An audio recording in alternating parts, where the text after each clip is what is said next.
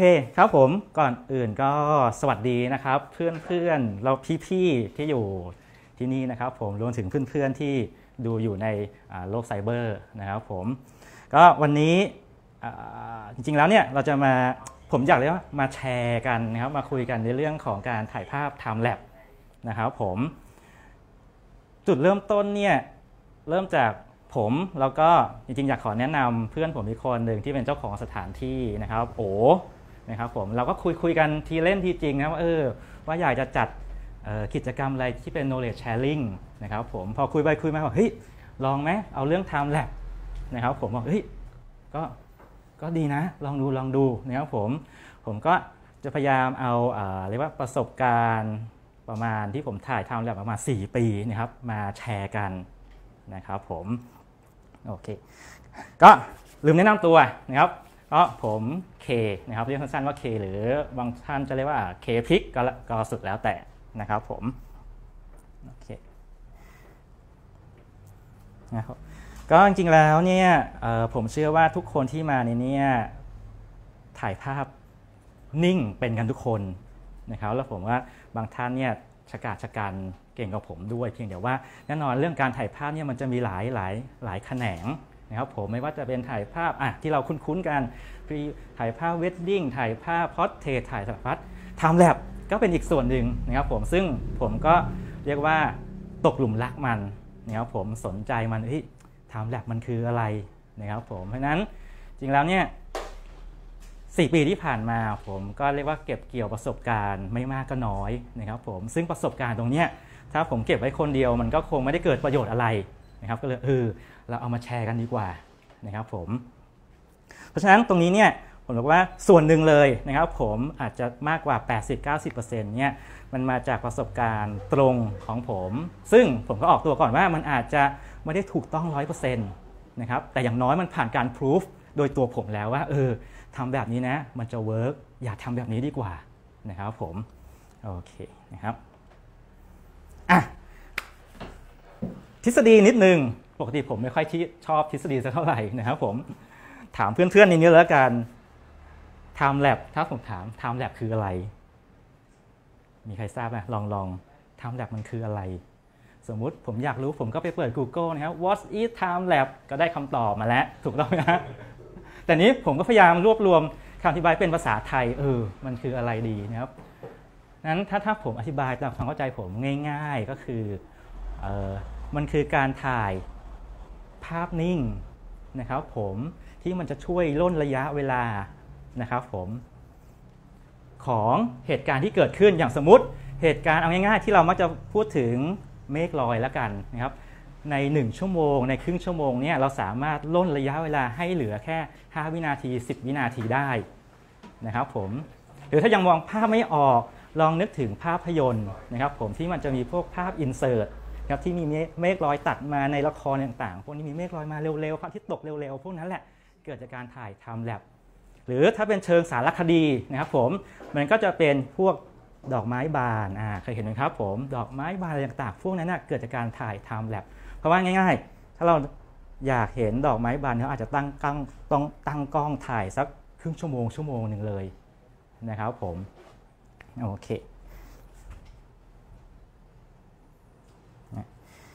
อันหนึ่งจริงๆ อันนี้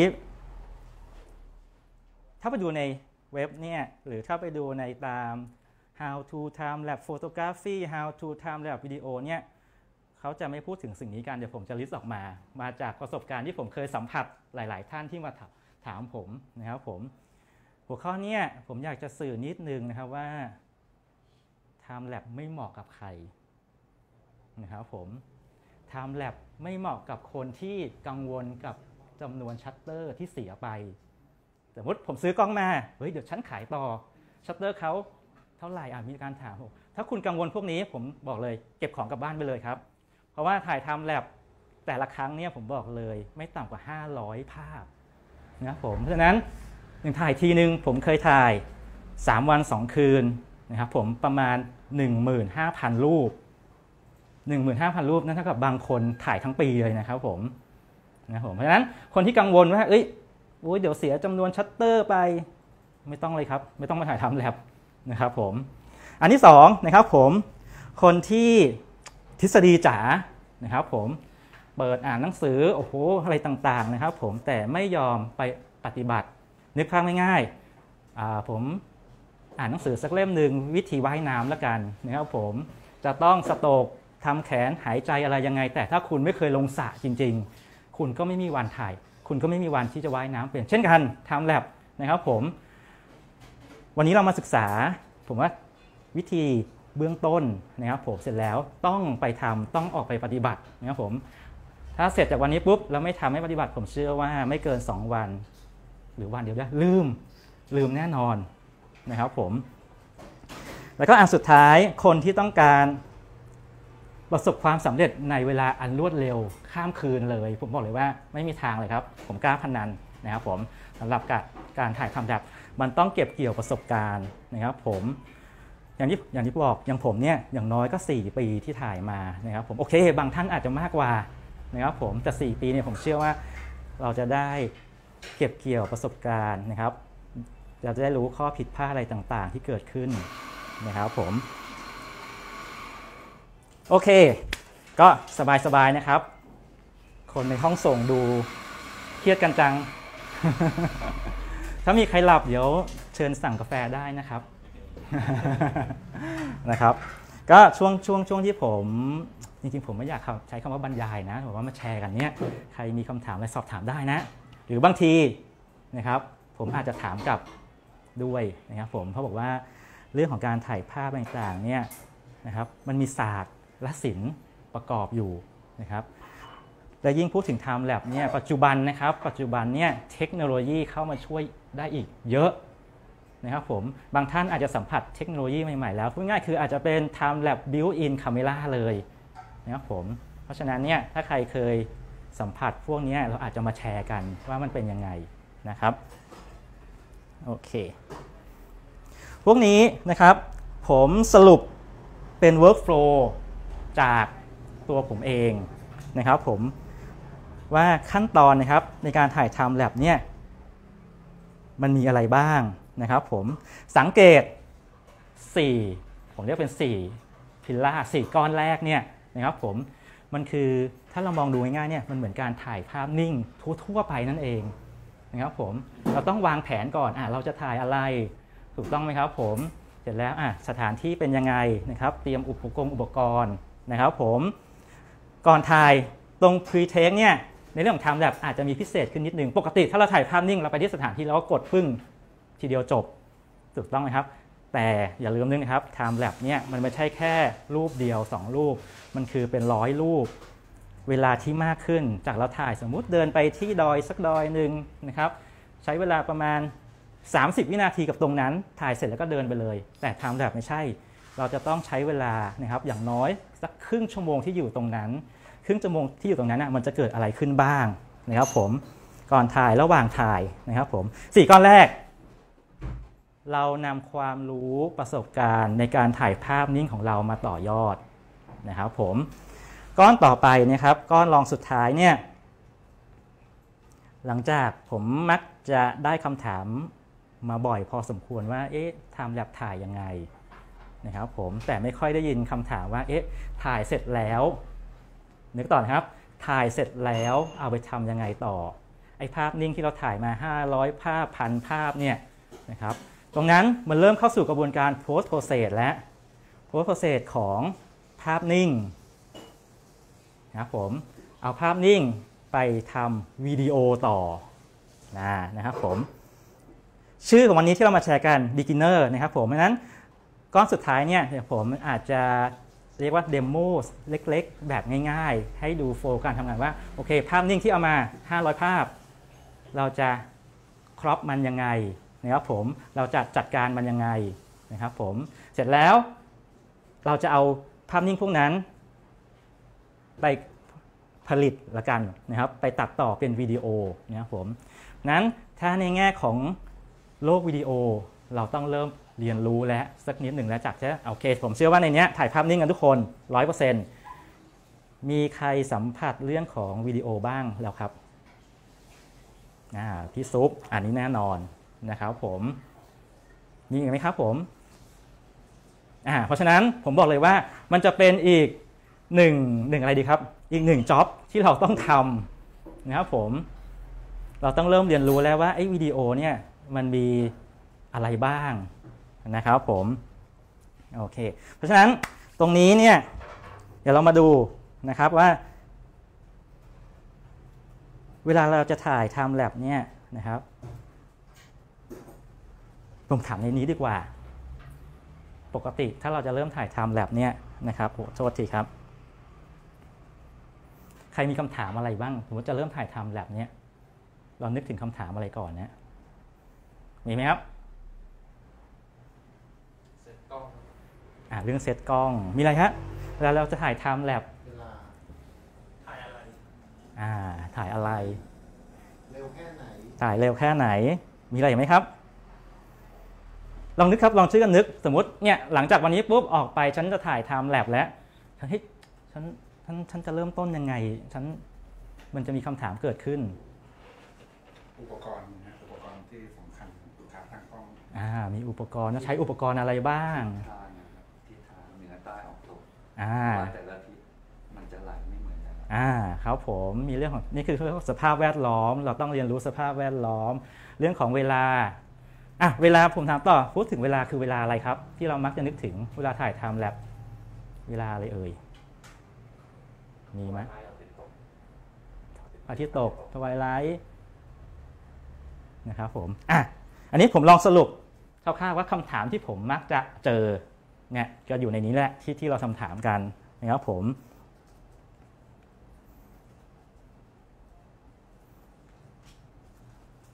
ประมาณนี้นะครับผม ทีนี้ถ้าเราดูเนี่ยอย่าง interval time เนี่ยผมว่ามันเป็นหนึ่งคีย์เวิร์ดเลยนะ ในการถ่าย time lapse ใครไม่ทราบบ้างครับ interval time คืออะไร ยกมือเลย รู้กันหมด นั้นผมจะได้ไม่พูด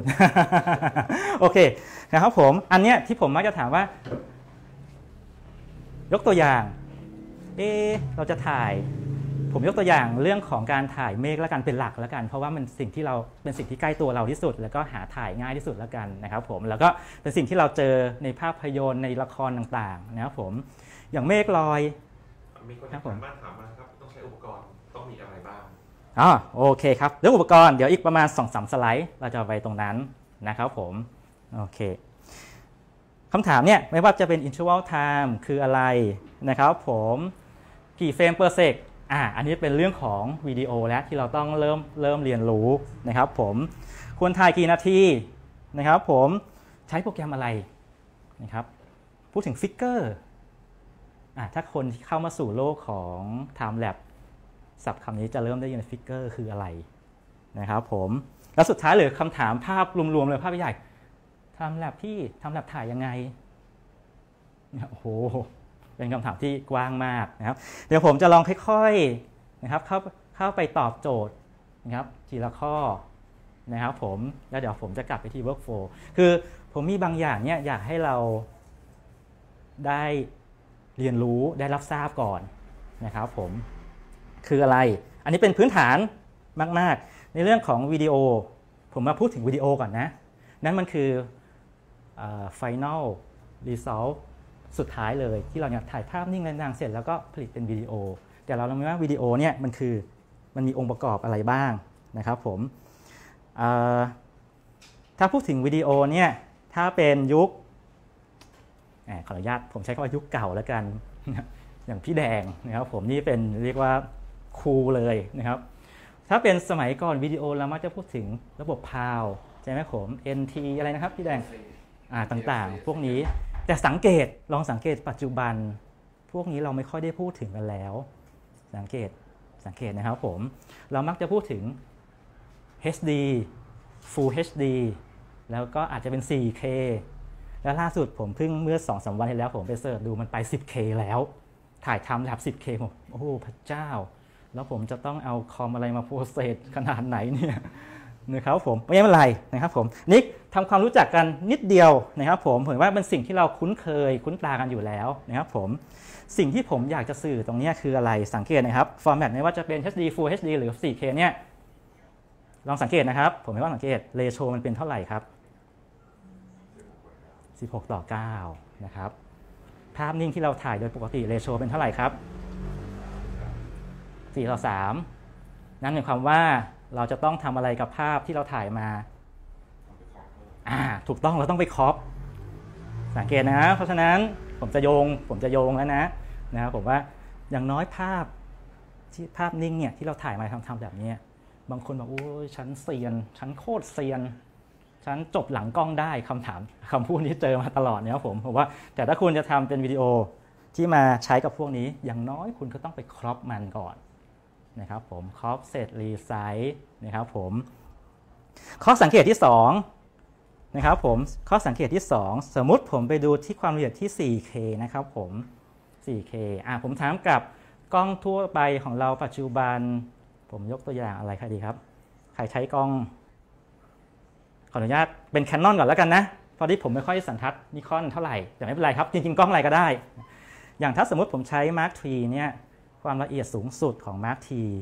ประมาณเท่าไหร่เอ่ยที่เป็นภาพนิ่งจำได้ไหมครับ โอเคจำไม่ได้ไม่เป็นไรครับ ผมได้ข้อสังเกตคือ ผมได้ข้อสังเกตคืออะไรครับ ข้อเห็นที่2นะความละเอียดของไฟล์ JPEG หรือ RAW อะของภาพนิ่งของเราเนี่ยมันสูงกว่า 4K ถูกต้องไหมครับ ถูกต้องอ่าผมจะสื่อคือ สมมุตินะครับ ปัจจุบันเนี่ยเรากำลังไปโลก 4K กันแล้ว แต่ผมบอกเอ้ยกล้องชั้นถ่าย 4K ไม่ได้ แต่ผมจะบอกว่าเราสามารถถ่าย time lapse ให้เป็น 4K ได้ ถูกต้องไหมฮะอ่านะครับผมนิดหนึ่งในนี้ใครใครเป็น stocker มั้งครับ มีนะครับผมรู้ใครมายกมือนี่ มีครับ มี มีมี stocker เดี๋ยวนะพอดีบางท่านอาจจะยังไม่ทราบ stocker คืออะไร ไม่เป็นไร หรือไหมไม่ใช่คนเล่นหุ้นนะนะครับผม stocker คือส่งภาพส่งวิดีโอขายแล้วกันเอาง่ายๆนะครับผมคือแนวคิดเนี่ยอะผมผมเกริ่นตรงนี้นิดนึงก่อน แนวคิดในการถ่ายรูปเนี่ยหรือความคาดหวังในการถ่ายรูปเนี่ยจะแตกต่างกันนิดนึงนะครับผมผมพูดถึงออกตัวก่อน ผมไม่ใช่ stocker นะครับ ผมไม่ได้ส่งมีหลายคนเข้าใจว่าผมส่งนะครับผม stocker เนี่ยนึกแต่เนื่องจากผมมีเพื่อนๆหลายคนอยู่ในแวดวงที่เขาส่งกันนะครับ แนวคิดเนี่ยเขาจะค่อนข้าง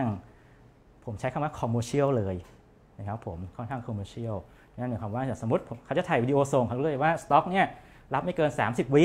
ถูกต้องไหมครับ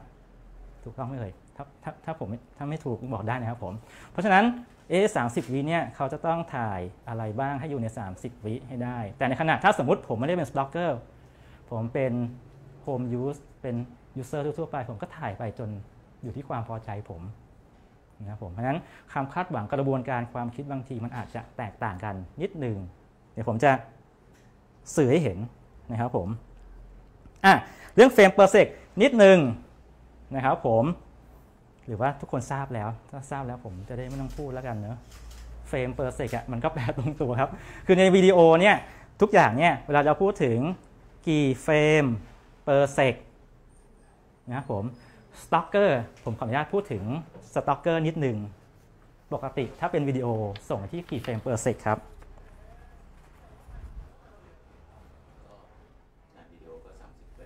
30 stocker ตอบหน่อย ผมผมมองหน้าหลายครั้งแล้วนะ พวก stocker เนี่ย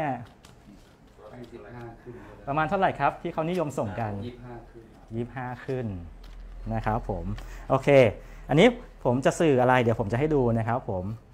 แต่ผมต้องต้องความรู้จักกับมันนะนะครับ อีกอันหนึ่งอันนี้เรียกว่าเป็นคีย์เวิร์ดหลักของการถ่ายทำแลบแล้ว คือเรื่องของ interval time นะครับ คืออะไรครับ interval time ถ้าผมผมก็ไม่รู้จะแปลไทยเป็นยังไงแต่ง่ายๆครับ ความห่างระหว่างช็อต นะครับ time lapse คือเอาภาพนิ่ง เป็นร้อยเป็นพันมาร้อยเรียงแต่ละหนึ่งช็อตหนึ่งช็อตห่างกันกี่วินาทีนั่นเอง เป็นคำถามที่คลาสสิกมากว่า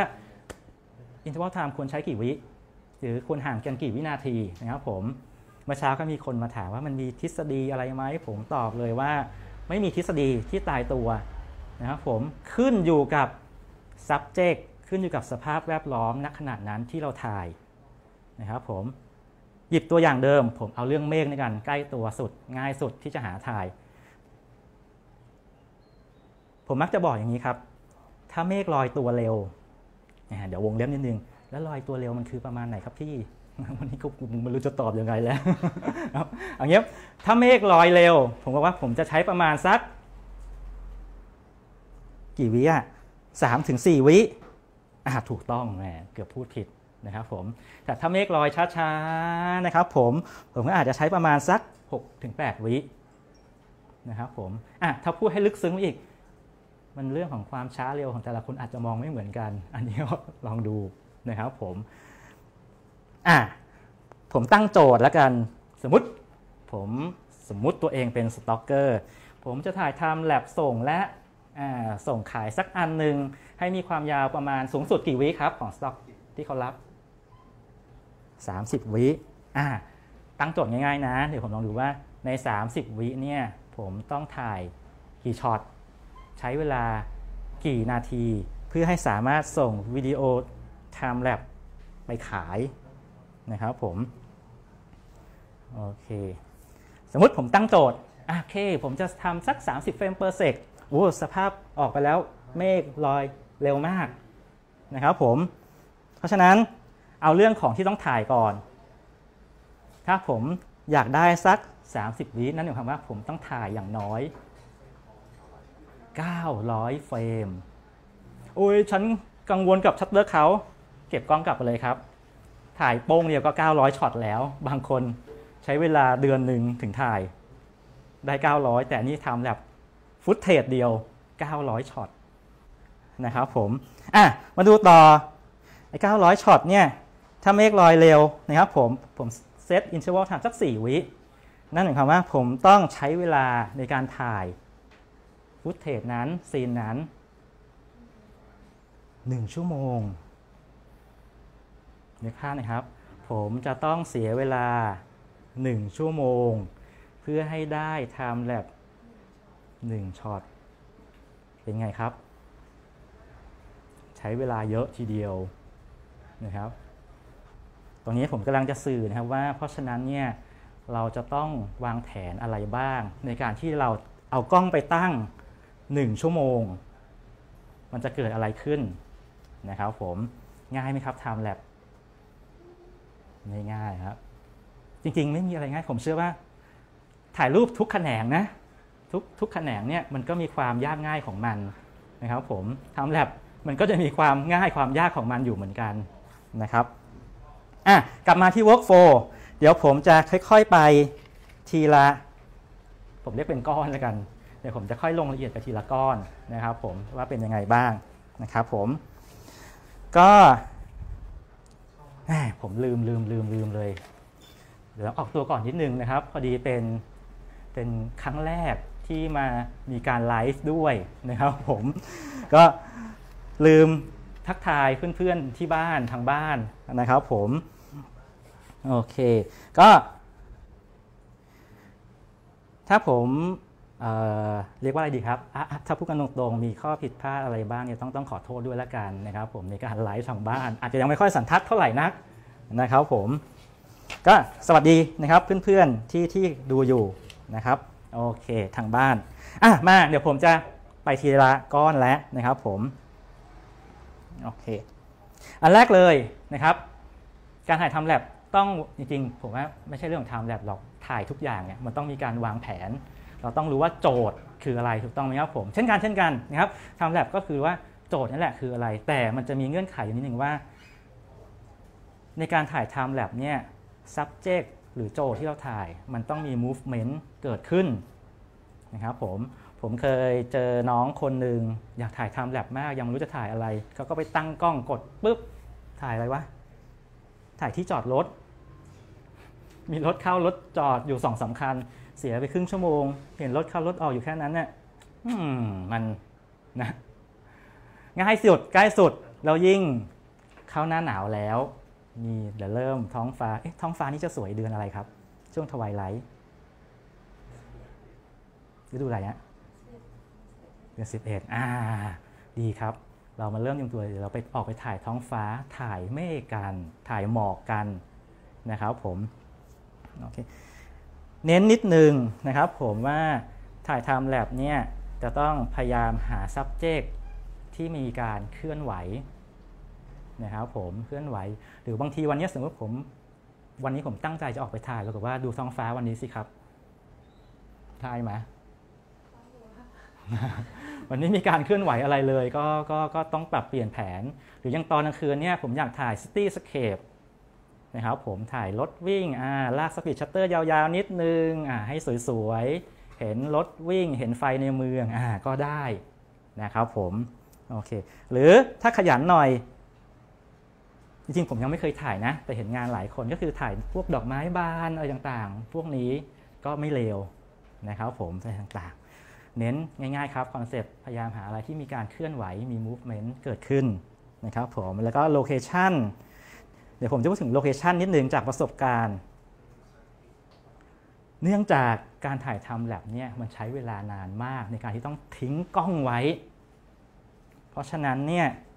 อาจจะเจออุปสรรคของสภาพแวดล้อมที่เกิดขึ้นนะครับเพราะฉะนั้นเราต้องระมัดระวังนิดนึงระมัดระวัง อันนี้ง่ายอย่างที่ผมเจอล่าสุดนะครับ ผมก็ไปถ่ายที่พระบรมหาราชวังนะครับผม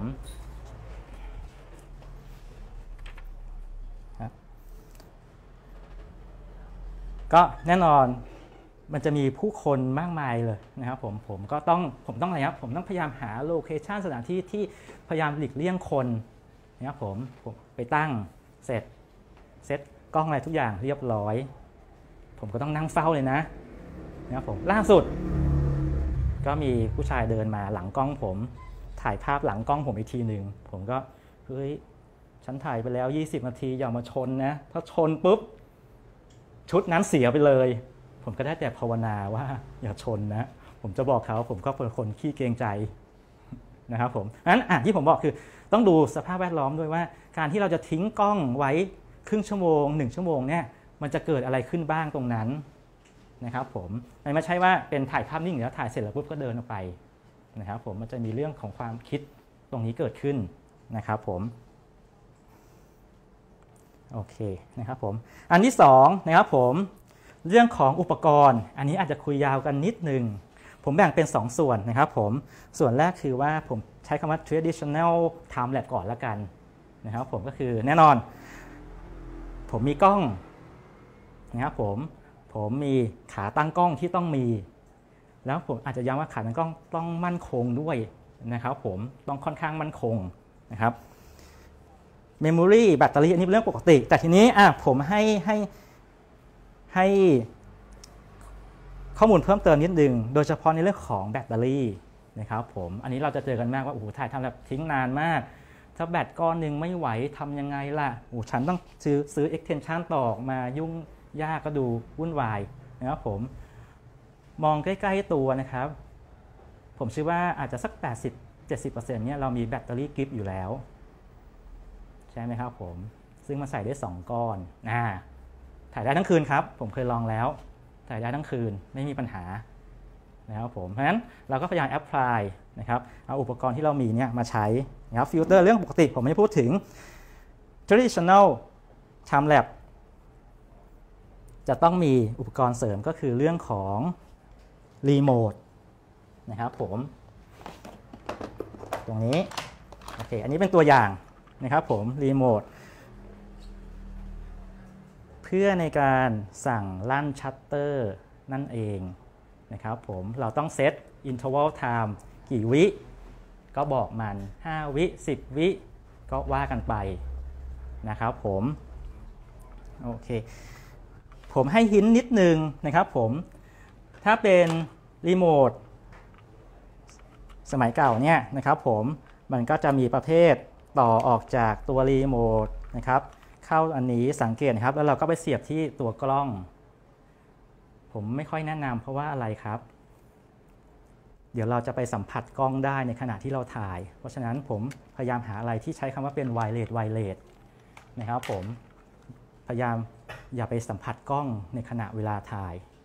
นะครับผมโอเคทำหลับอีกแบบหนึ่งนะครับผมอันนี้เริ่มเข้าสู่ยุคยุค ผมเชื่อว่าเพิ่งผ่านมาประมาณ 2-3 ปีเนี่ยมันมีคำว่า ผมใช้คำนี้แล้วกันครับ time lab built in camera เลยนะครับผมโดยเฉพาะกล้องรุ่นใหม่ๆเนี่ยพวกมิเลอร์เลสทำกันโอ้โหสบายมากและของ ขออนุญาตเอ่ยเอ่ยเอ่ยแบรนด์จริงๆก็ไม่มีอะไรครับผมเป็นเรื่องปกติอยู่แล้วที่เราทราบกันคืออย่างพวกของ Sony อะไรต่างๆเนี่ยเราลงซอฟต์แวร์นะครับผมแล้วก็สามารถเซตค่าต่างๆ ในตัวกล้องแล้วถ่ายได้เลยรีโมทอันนี้ไม่ต้องใช้แล้วนะครับผมอย่างนี้เป็นต้นอย่าง Canon รุ่นใหม่ ๆ อย่าง Mark IV ก็ถ่ายได้แล้วนะครับผมนิคอนตัวใหญ่ๆ ก็ถ่ายได้มานานพอสมควรแล้วนะครับผมเพราะฉะนั้นบางอย่างเนี่ยวันนี้อาจจะมีประโยชน์ นะครับผมต่อไปนะครับด้วยเทคโนโลยีเทคโนโลยีที่ที่พัฒนาขึ้นนะครับ ผมอุปกรณ์บางอย่างก็อาจจะค่อยๆหายไปนะครับผมโอเคนะครับผมโอเคนะครับอ่าอ่ามาต่อครับผมอันที่3นะครับผมอันที่ 3 อันนี้ เริ่มสำคัญแล้วจริงๆสำคัญทุกก้อนนะครับผมแต่สองไอ้สองก้อนแรกเนี่ยสองก้อนแรกเนี่ยผมเชื่อว่ามันเป็นเป็นพื้นฐานของการถ่ายภาพเลย ไม่ได้มีอะไรพิเศษ ก้อนนี้สำคัญแล้วนะครับผมเมื่อเช้าเพิ่งมีการผมมีคนมาสอบถามผมถ่ายยังไง อันนี้คือผมเป็นไฮไลท์เลยนะสำคัญเลยว่า ผมเริ่มเรื่องการเซตค่ากล้องและนะครับผมสำคัญเลยนะครับ ย้ำเลยคืออะไรครับ ผมเริ่มจากผมมักจะใช้คำพูดนี้นะครับผมว่าเอ้ยเซตทุกอย่างต้องแมนนวลและห้ามใช้ออโต้ทุกอย่างในตัวกล้องนะครับผมคืออะไรนะครับผมเริ่มจากตัวกล้องก่อนนะครับตัวเลนนะครับผมเลนต้องเซตเป็นแมนนวลแมนนวลเลยนะครับผมถ้าคุณเซตเป็นออโต้เมื่อไหร่นะครับ สังเกตมันจะเกิดการกระชากเกิดขึ้นเดี๋ยวผมให้ดูตัวอย่างจะเห็นภาพ นะครับผมคืออะไรครับยกตัวอย่างง่ายๆอย่างสมมติผมถ่ายเมฆแล้วกันอ่าผมก็ mark โฟกัสสมมติผมเป็นเซตเป็นออโต้ก่อนนะโฟกัสก็ไปหาจุด contrast ของเมฆก้อนนี้เรียบร้อยแล้วอ่ามันก็ mark โฟกัสถ้าเมฆเคลื่อนไปปุ๊บจุด contrast หายไป มันก็จะไปซูมอีกก้อนหนึ่งมันจะเกิดการอะไรครับ เลนดึงเข้าดึงออกดึงเข้าดึงออกนะครับผม เดี๋ยวผมมีตัวอย่างให้เห็นให้ดูตัวนี้นะครับผม อันนี้เรียกว่าเป็นความ ความเฟลมาก ๆ นะครับผม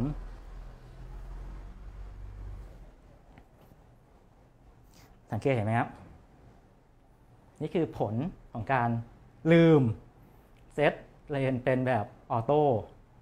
นะครับผม มันก็เกิดการดึงเข้าดึงออกเลนส์ก็พยายามโฟกัสโฟกัสหาจุด contrast ที่เราโฟกัสไว้นะครับผม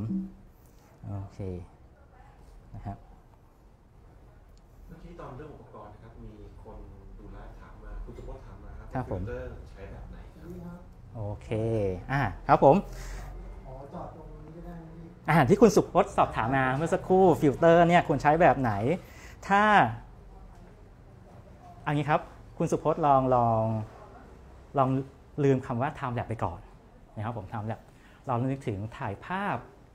ธรรมดาทั่วๆไปนี่แหละนะครับผมถ้าสมมติผมไปถ่าย seascape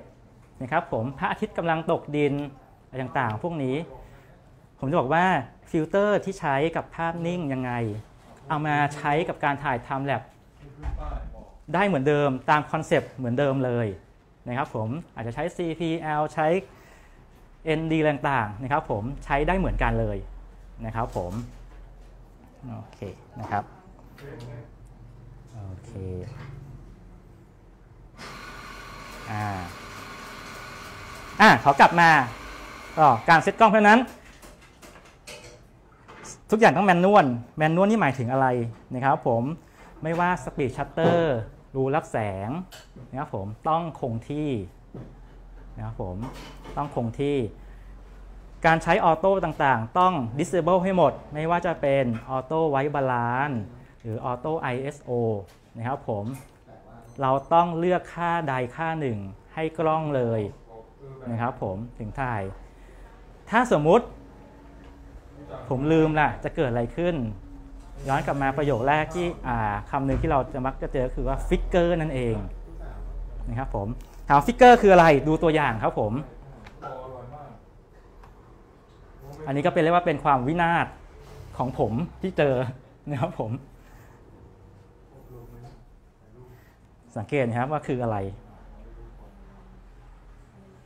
นี่คือ flicker ที่เกิดขึ้นแบบร้ายกาจมากนะครับผมโอเค อันนี้คือ flicker นะครับ ตรงนี้เนี่ยผมก็จะบอกว่าถ้ากับดึงกลับมาที่สไลด์ช่วงแรก ๆ นะครับผมที่บอกว่า เราจะต้องฝึกหัดต้องฝึกจริง ๆ ผมยังยอมรับเลยถ้าผมทิ้งช่วงไปสักสองสามเดือนแล้วผมกลับมาถ่ายใหม่เนี่ย ผมลืมเหมือนกันนะ ลืมอะไรอาทิเช่น เรื่องเซตเลนส์ให้เป็น manual ผมเซตทุกอย่างที่กล้องเรียบร้อยแล้วตั้งปึ้งกดปุ๊บ แล้วก็เดินไปทำนู่นทำนี่กลับมาเสร็จเลยเสียไปฟรีๆ200ช็อตอย่างนี้เป็นต้น หรืออะถ้าผมถ่ายภาพนิ่งปกติ ผมก็เซตเป็น auto white balance อันนี้ของผมเองนะ แต่ละคนแล้วแต่ผมลืม โอเค ถ้าผมถ้าผมถ่ายช่วงกลางวันปกติ ยังไม่ซีเรียสเท่าไหร่ แต่ช่วง twilight แสงเริ่มเปลี่ยนอุณหภูมิแสงเปลี่ยนเมื่อไหร่เนี่ยอันนั้นคืออีกหนึ่งความวินาศที่เกิดขึ้นเหมือนกันนะครับผมเพราะฉะนั้นทุกอย่างตรงนี้ต้องเซตให้เป็นแมนนวลให้หมด อย่าลืมอันนี้ต้องท่องเลยนะครับ เป็นคัมภีร์เลย ไม่งั้นคุณไปตั้งกล้องโอ้โหเจอแลนสเคปสวยๆ เจออะไรมูฟเมนต์สวยๆเนี่ยบอกเลยคุณเสียเลยนะครับ เสียโอกาสตรงนั้นไปเลย นะครับผม มีคำถามจากมีคำถามจากคุณซิครับผม ใช้โหมด A ได้หรือเปล่าโหมด A โอเค ผมตอบเลยว่าอะอะพอดีมีคำถามจากทางบ้านมานะครับผมว่าใช้โหมด A ได้ไหมนะครับผมผมตอบเลยว่าไม่ได้ครับ เพราะว่ากล้องมันจะคิดให้ ทีนี้คิดให้มันคิดให้ในเชิงของภาพนิ่งนะครับผมแต่ Time Lapse มันจะไม่ได้แล้ว เพราะมันจะคิด คำนวณเรื่องของสปีดรูรับแสงอะไรตามที่กล้องเอง เพราะฉะนั้นมันจะมีการแกว่งเกิดขึ้นอยู่ตลอดเวลานะครับผมห้ามเลยนะครับอืมครับผมทีนี้เนี่ยถ้าเรา set manual แล้วเราไปถ่ายมันเป็น twilight หรือพระอาทิตย์ตกเนี่ยแสงมันเปลี่ยนเนี่ยยังไงนะครับผมโทษทีสมมติเวลาตอนที่เรา set manual เนี่ยอ๋อเราตั้งค่าเสร็จปุ๊บเนี่ยว่าโอเคแสงพระอาทิตย์ตั้งตกครับผมแต่ทีนี้ถ้าพอพระอาทิตย์ตกปุ๊บเนี่ยแสงมันเปลี่ยนเนี่ยครับ โอเคอะพอดีมีคำถามจากในห้องส่งนะครับผมถามว่าเอ๊ะ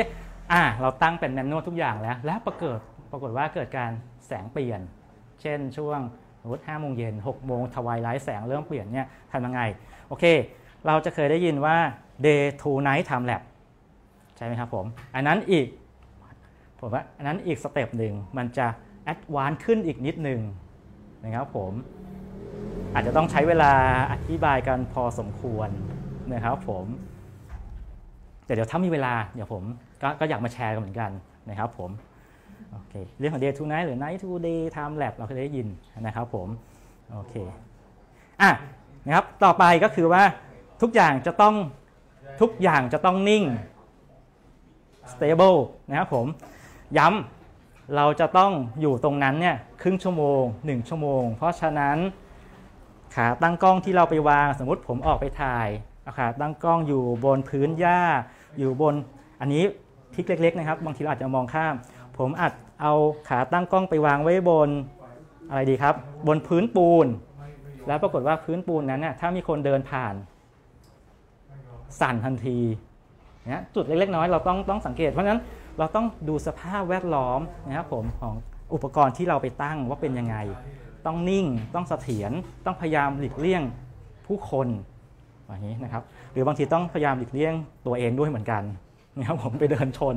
หรือเพื่อนๆชอบแซวกัน เดี๋ยวฉันไปเตะขาตั้งกล้องแกเงี้ยนะครับผมโอเคอะอันที่สี่จริง ๆ อันเนี้ยผม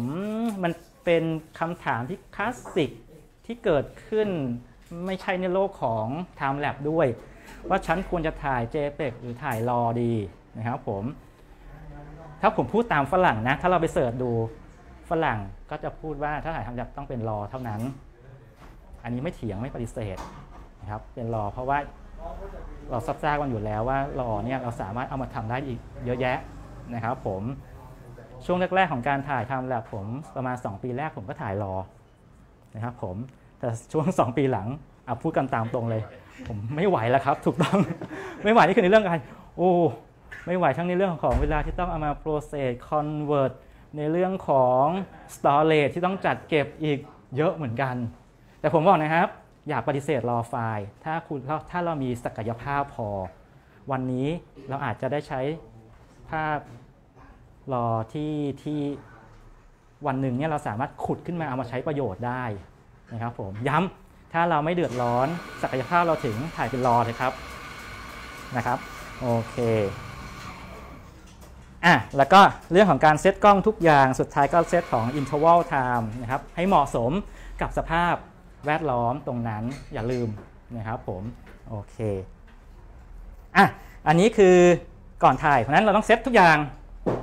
ตัวกล้องค่าตั้งกล้องนะครับเซตค่าต่างๆของกล้องทุกอย่างแล้วก็เริ่มกดชัตเตอร์ก็ปล่อยให้มันทำงานไปนะครับผมโอเคอ่าทีนี้ระหว่างถ่ายเราควรทำอะไรบ้าง โอ้อันนี้เป็นคำถามที่ทำอะไรครับ ชั่วโมงหนึ่งเราควรไปทำอะไรดีฮะทำอะไรดี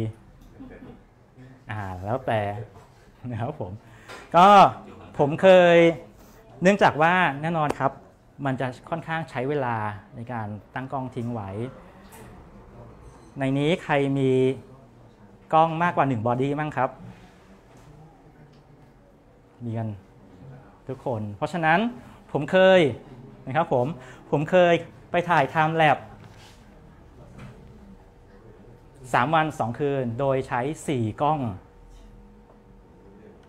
ตั้งเซต1กล้องเสร็จนะครับ ตั้งเซตหนึ่งกล้องเสร็จผมไปทำอะไรเฮ้ยผมก็เอาไปอีกกล้องหนึ่งโอ้โหแลนสเคปสวย ผมก็ไปตั้งอีกกล้องหนึ่ง